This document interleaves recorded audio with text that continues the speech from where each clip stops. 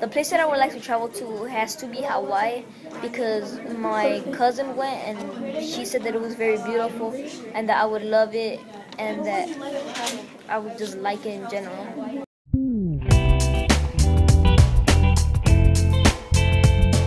My earliest memory is when I was living in an apartment and my mom picked me up and said, ¿Cómo estás?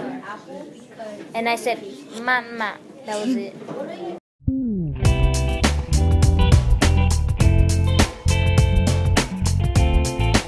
The person that has influenced me the most has to be my teacher, Mr. Sell, because he's letting, he's giving me the opportunity and giving me the area and giving me thoughts about going to college.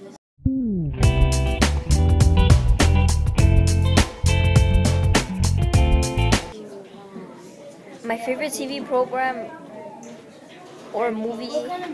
I'm gonna choose movie because I don't really watch TV that much. But my favorite movie has to be Deadpool 2 because when I first saw it, I loved it so much and I wanted to keep watching it over and over and over again. And I liked it so much.